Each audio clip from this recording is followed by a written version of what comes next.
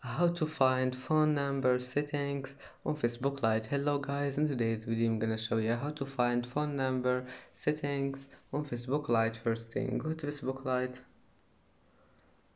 And now just click uh, these three lines here in the top corner.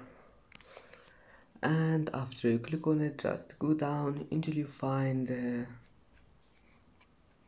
this one settings. Click on it and here just click uh, personal and uh, account information.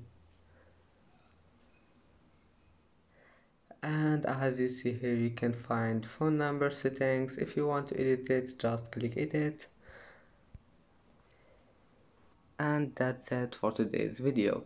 If you like this video please don't forget like and don't forget subscribe and thank you for watching this video. Until the end see you in the next video